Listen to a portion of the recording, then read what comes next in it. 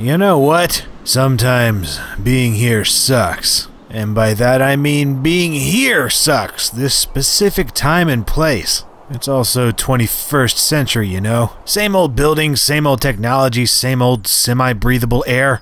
What you need is time travel. What What you need is The Sims 3 Into the Future, the 11th and final expansion pack to The Sims 3.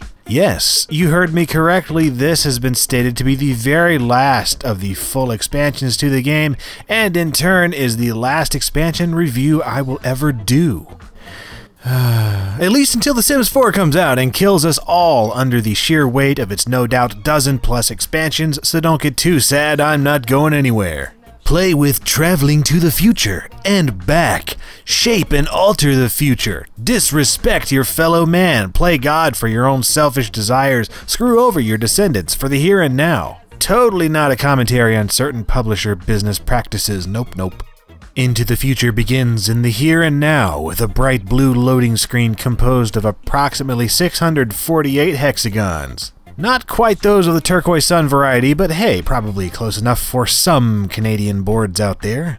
There is no new town included with this expansion, at least not in the sense that you can choose it from the main menu, so just slather up an old save or chart a new future for yourself with a new game in an existing town. Doesn't matter what you pick because before long some crazy crap will start happening right in front of your vision organs. It's a portal of mystery, a mysterious portal, a gateway to another time. It's also an eyesore that randomly appears anywhere on your lot, so you may want to remove it somewhere more appropriate later. Anyway, some doofy looking dude will come waltzing out of there saying, Marty, you've got to come back with me. He then gives you a time almanac, and it's up to you if you want to follow him or not. And being that his name is Time Traveler spelled backwards, of course you're going to go with him because that stuff is legit. But first, you have to collect some stupid glowing tubes from your yard. Okay, time to go.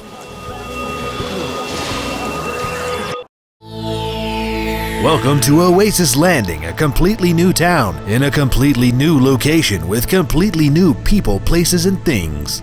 So yes, apparently the time portal is more of a space-time portal, but whatever man, technicalities. You may don't think it be like it is, but it do.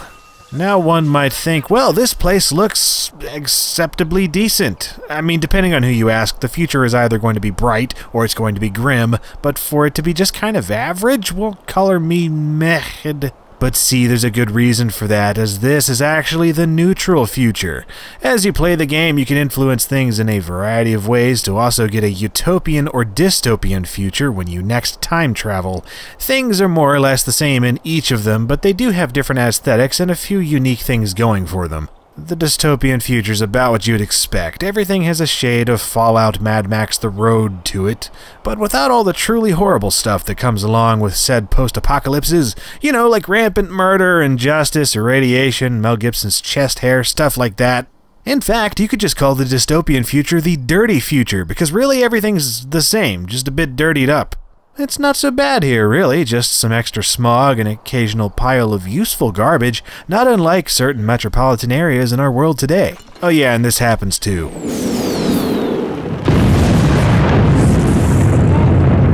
So that can be a hassle, I guess, but still, it just makes you dirtier, no big deal. Then there's the utopian future, and this, uh, well, it's freaking La La Land. Not only is everything absurdly bright and shiny, but the trees and shrubbery look like something right out of Katy Perry's Sweet Treats.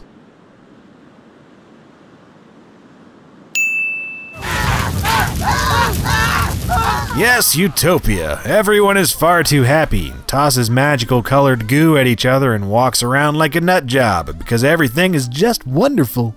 To be honest, it kind of freaks me out in a very Stepford Wives kind of way, so I tend not to spend too much time here because I'm a realist. But anyway, whatever future you find yourself in, there's a ton of things you can do, and if you continue talking to your time traveling tour guide, he'll give you a bunch of them as sort of a tutorial. One of the first things you'll come across are the new modes of transportation, the first of which is the jetpack.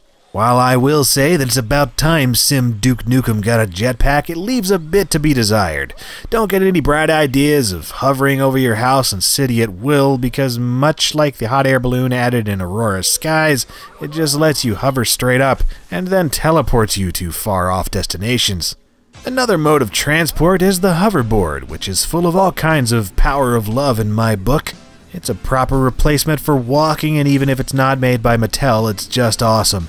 You also still have cars which act exactly the same as old school cars, except they hover and have an aesthetic that would make Rick Deckard feel right at home even while crying in the rain.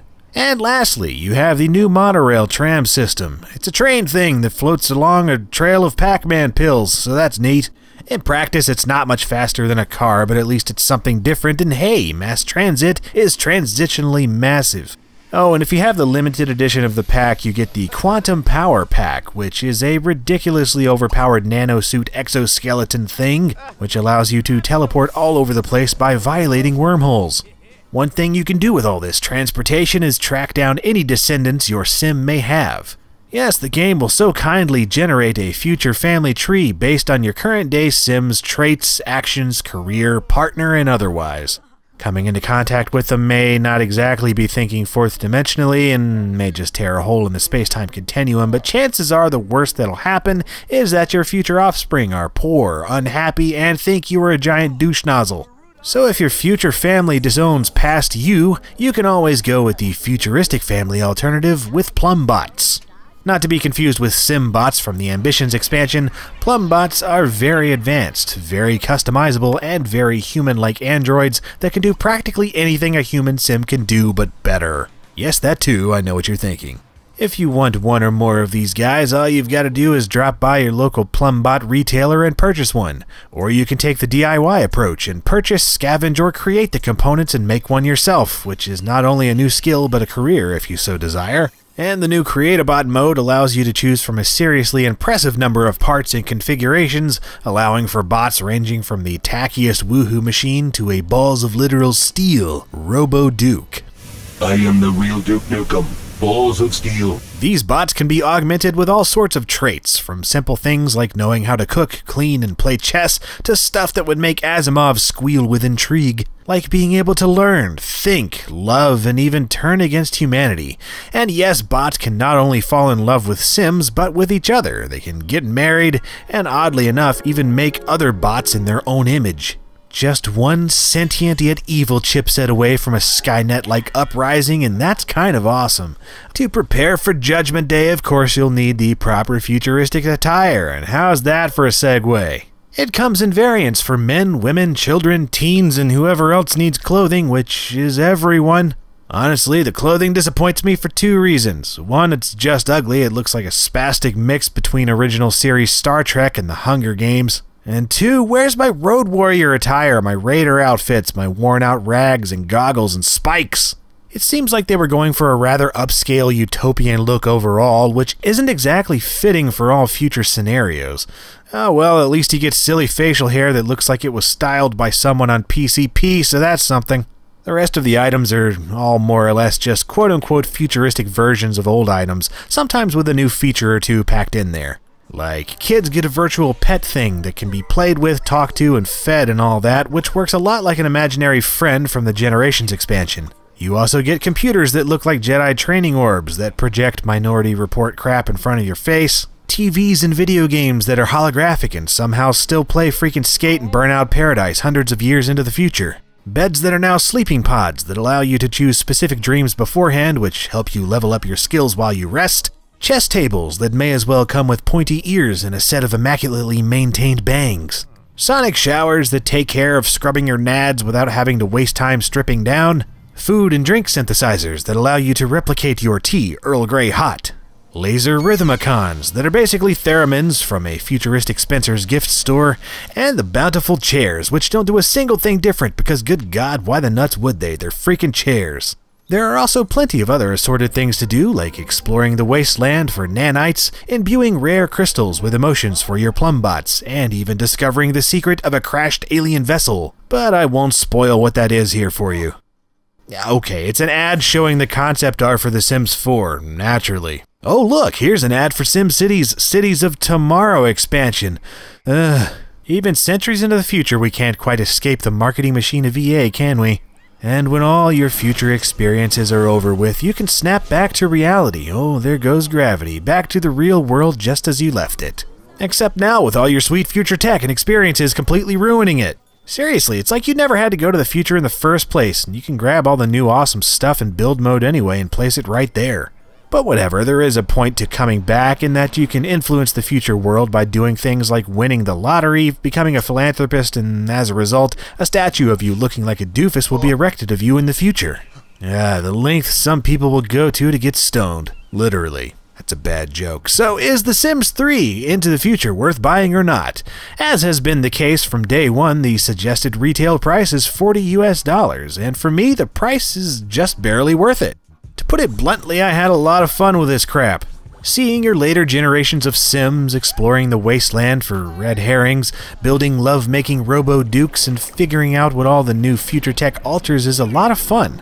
In fact, this is more or less exactly what I wanted from The Sims Medieval, just an expansion that keeps the core Sims gameplay intact, but somehow introduces a new location and or time period. And in that regard, this is well worth the money to me. On the other hand, it's highly specific in the type of experience it provides and is a massive departure to the look and feel of the base game. It's all sci fi all the time, and whether or not you like that as a part of your simming experience will determine if you think this is awesome or not. For me, I like it for a time as a distraction, but I don't see myself using anything as part of my normal gameplay just because it's so far fetched. But yeah, don't let that stop you if you do like weird sci fi in your sim life, because Into the Future is here in the present, and it's got a lot on offer. Did you enjoy something about this video? Well, I've got plenty more on The Sims 3 and a bunch of other stuff too click one of these video clips and it'll take you to them. Or just click subscribe because I put out a new video every week and there's a ton more coming. And as always, thank you for watching.